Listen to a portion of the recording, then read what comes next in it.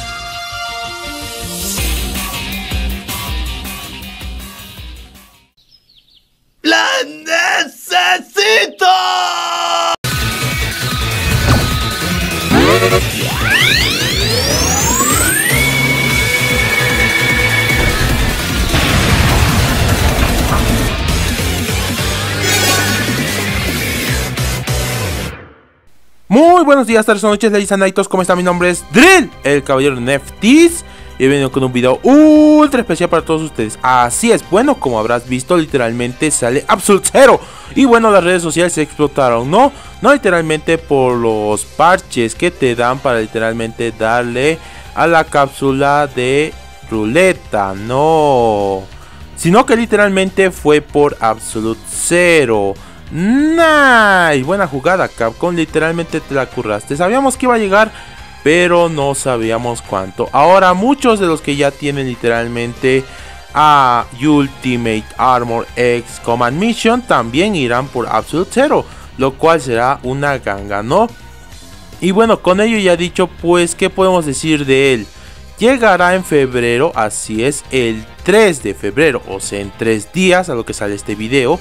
Nice. Y bueno, considerando que mucha gente va a estar desesperada por este sujeto, pues me dije, bien, supongo que habrá mucha gente que trate de conseguirlo. Y bueno, habrá mucha gente nueva que literalmente tratará de conseguir a Absolute Zero. Y bueno, con ella he dicho, pues, ¿qué hacer para conseguirlo? No lo sé, tú dime. Bueno, ahorrar metales, ¿no? Así que aquí en este video y ahora te enseñaré a cómo ahorrar literalmente 15.000 metales. Imposible. Sé que suena imposible, pero bueno, con estos consejos y casos del destino final, pues, uff, uff, uff, lo vas a lograr, gente, lo vas a lograr. Y recuerda, si tienes algún amigo que trate de iniciar el Next Dive o demás, pues en los comentarios. O si tienes dudas y respuestas también para que los pueda contestar en el próximo video. Y bueno, sin más, iniciemos con estos consejos del destino final. Cuando inicias y cuando terminas para obtener estos metales. Esta parte de mi vida. Esta pequeña parte. Se llama felicidad.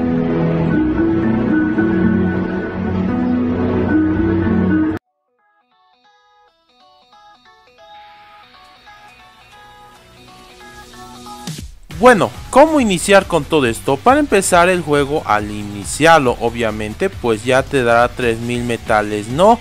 Nada mal para iniciar, nada mal. Y bueno, puedes invertir estos literalmente en un reroll, literalmente lanzando por Absolute Zero. ¿Qué quiero decir con esto? Pues que reinicies la cuenta a cada momento para obtenerlo, ¿no? Pero no te conviene porque básicamente solo lo podrás obtener máximo con suerte así de las locas. Sería... Mm, dos estrellas a tres. No está mal, pero sin duda no es lo que quieres. Tú quieres ir por más. Cinco estrellas asegurado y demás, ¿no? Pues sí, güey, no mames. Claro, con 15.000 metales no puedes obtener esto fácilmente porque es un gacha, obviamente. Pero bueno, considerando ello, pues ya tienes algo por donde agarrarte, ¿no?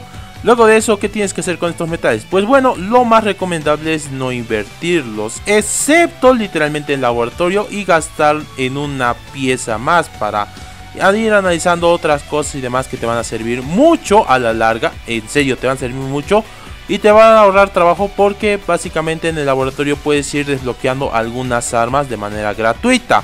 Nice, algo que literalmente otros juegos deberían hacer. Pero bueno, en fin.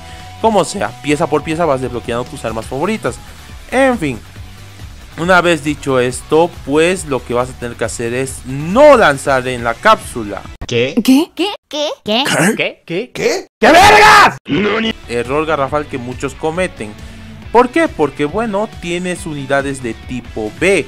Así es, personajes que pueden hacerle frente a todo y todos no. El chiste es combinarlo con la arma correcta y bueno, con el uso adecuado de habilidades.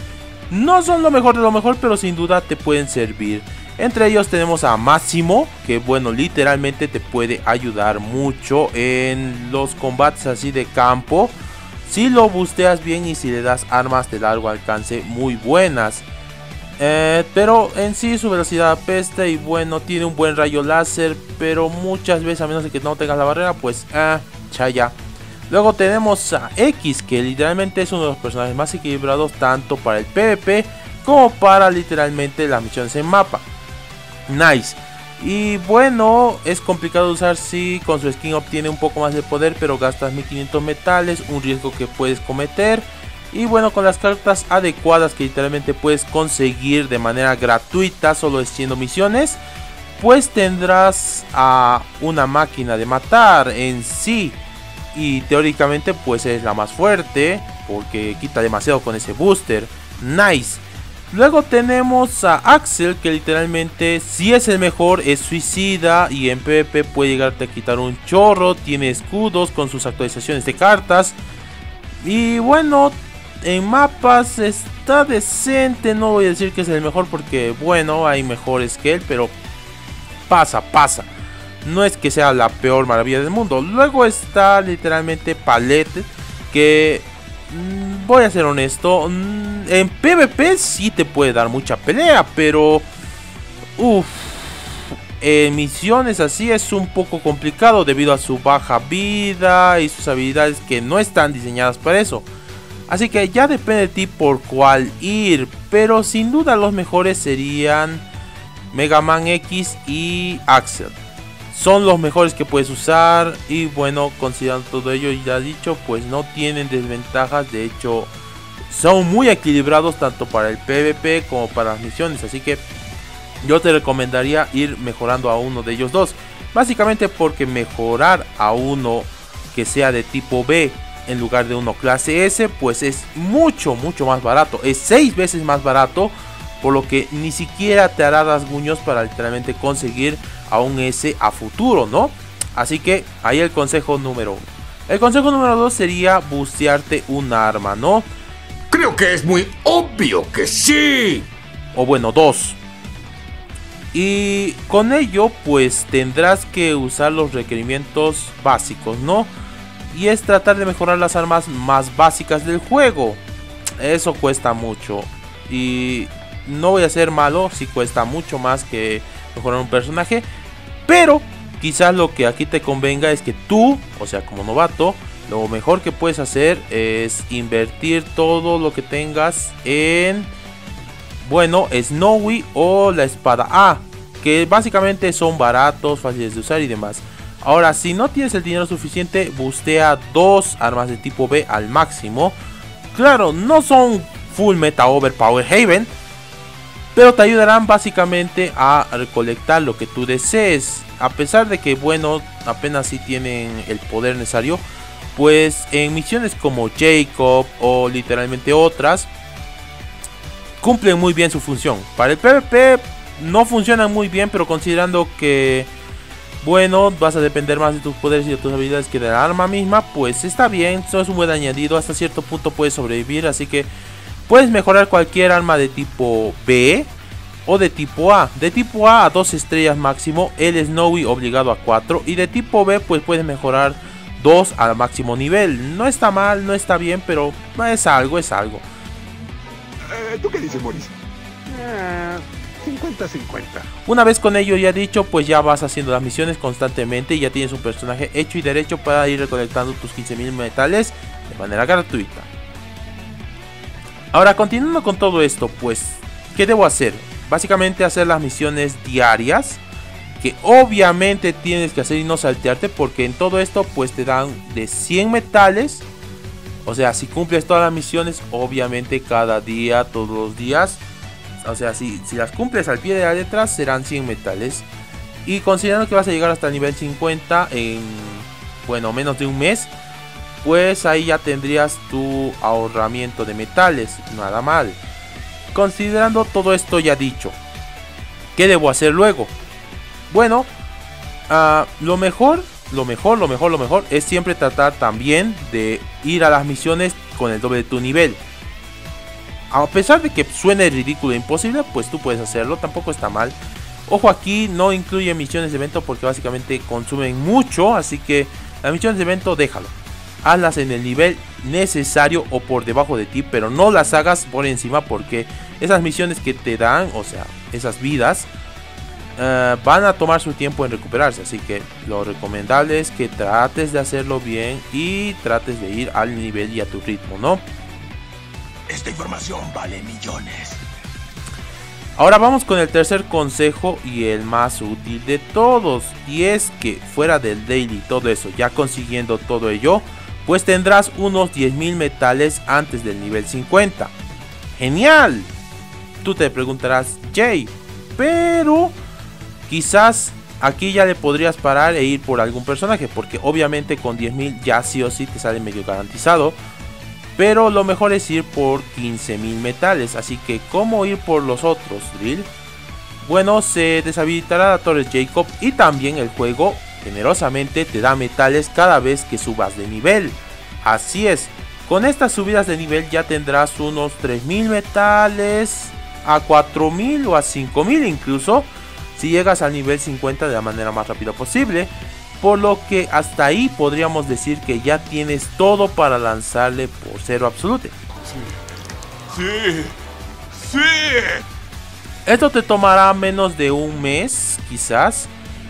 Eh, a mí me tomó llegar a 10.000 en dos semanas. Dos semanas así, fuera de locos. Pero me puse las pilas y la onda. Ahora, si no quieres esperar y puedes llegar a unos 5000 metales en poco tiempo, sí. Pero yo en serio te recomiendo los 15000, la verdad. En menos de un mes, la verdad, para cualquier cosa que tú desees, está genial y chidori, ¿no? Y como te dije, si estás iniciando el juego, pues lo mejor es hacer un reroll para obtener a Nightmare 0, o perdón, Absolute 0. Y bueno, con ello ya dicho, pues ahí te doy mis consejos para poder entrarle de hostias al juego. Y no solo eso, sino reclamar tus 15.000 metales gratis que te da el juego. Y prácticamente no se necesita hacer casi nada, o sea, solo es subir de nivel y prácticamente conectarte todos los días. Ni siquiera tienes que hacer nada más y prácticamente el juego ya te empieza a regalar muchas cosas con ello. Así que aprovecha, aprovecha el Brook Verro porque está chidori, está chidori. Y no sabemos cuánto durará esto, pero mientras dure, aprovecha todo lo que puedas para obtener estas piezas y literalmente obtener tus 15.000 metales gratis. Ladies and gentlemen, gracias por ver el video hasta aquí. Si te gustó, dale un like, manito arriba, manito abajo, que eso me ayuda mucho a seguir creciendo más en mi contenido, ¿no? Y tratar de variar entre X-Dive y otros juegos más. Porque la verdad me fascina X-Dive y bueno, quiero aportar mi pequeño granito de arena a la comunidad. Y bueno, gente, también si tienes dudas, déjalo en los comentarios.